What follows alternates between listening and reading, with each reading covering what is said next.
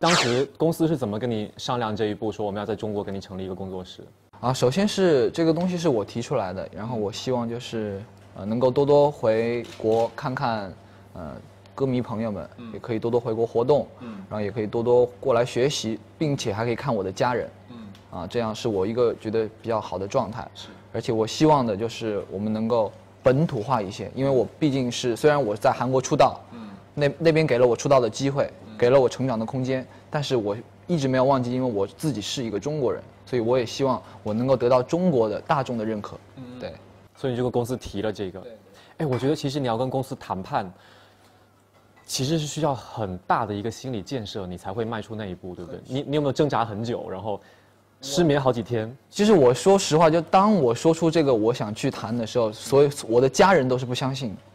不觉得这是一个有一有一点不可能的事情，不可能像你做会做的事情。对对，但是我因为公司他那边可能也是有这个意向，然后在我在谈的过程中，因为我也准备的非常充分，嗯，那么跟公司谈的话，公司就一拍即合，达到达成了共识，就就一拍即合，没有中间经历那任何的呃有一些时间嘛，就时间可能比较稍微也不是那么快，也不是那么慢，对，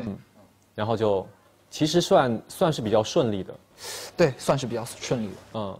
所以你开心不开心？当公司拍板说 OK，你可以回去做这个工作室的时候，呃，开心、期待加怕怕的，怕怕的，就说完之后怕怕的，因为自己对于这个工作室也确实没有一个没有底，心里还是没有底的。但因为是我是这是第一第一个人这样做一个这样的呃工作室，所以呃期待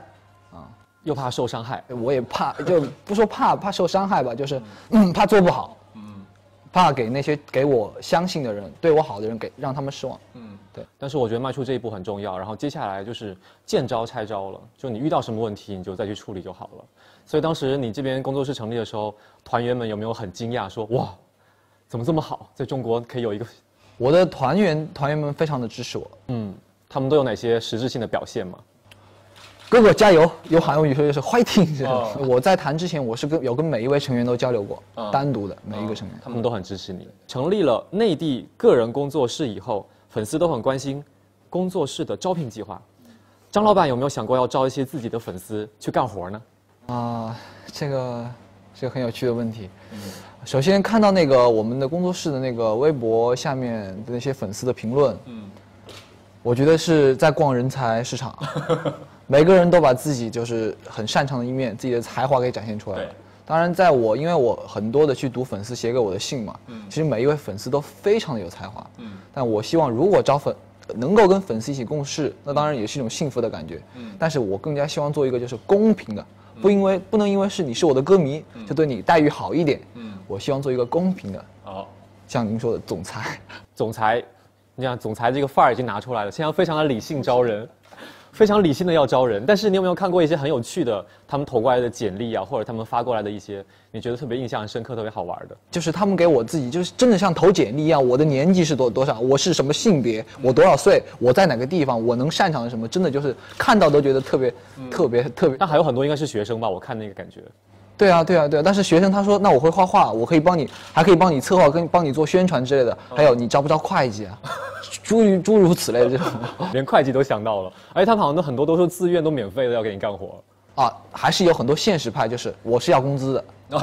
直接就提出来了。好，我觉得这个很有意思，很可爱。对，但是大家公平竞争了，对不对？就能为累出一份力，也是这个非常光荣的。